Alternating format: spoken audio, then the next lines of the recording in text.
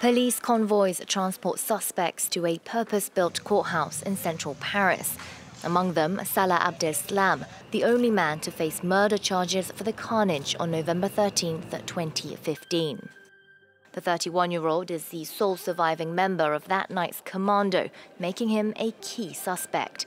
Judges are seeking to find out if he abandoned plans to blow himself up or if his bomb failed to detonate.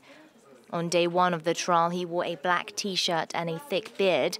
Abdeslam's first words to the courtroom were a prayer. Then, when asked to state his profession, he said he gave up working to become an Islamic State fighter. Thirteen other men are being called to the stand, accused of planning or financing the attacks. Five are presumed to be dead, and one is still on the loose. On the plaintiff's side, some 1,800 victims and 330 lawyers are taking part in what has become France's biggest trial in history.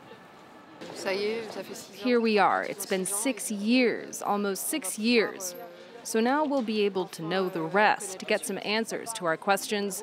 Maybe not all of them, but at least this will help us to move on. They won't be able to get the answer to many questions.